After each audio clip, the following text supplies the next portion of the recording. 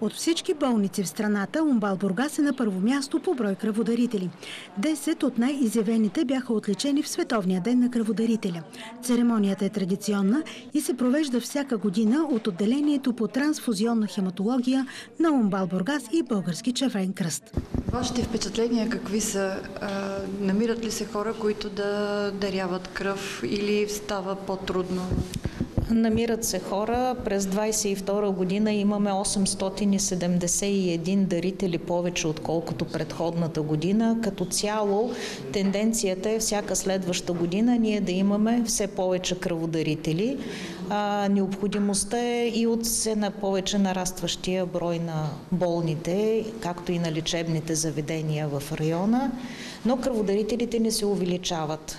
Хубава тенденция е, че се увеличава бройката на млади хора, включително такива под 20 години, от 20 до 25 години имаме тенденция те да се увеличават като брой.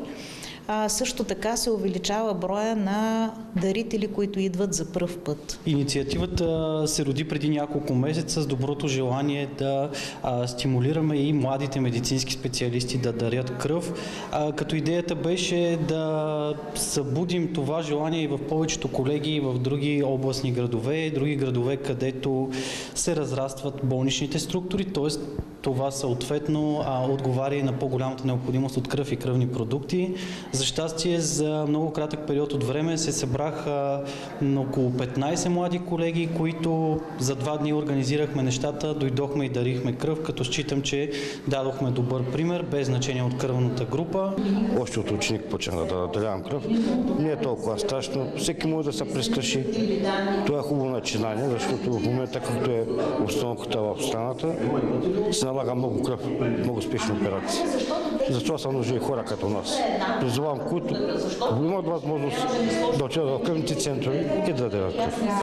Бяха отличени и ръководствата на три бургаски училища, които всяка година мотивират и организират абитуриентите си да се включат в акции по кръводаряване.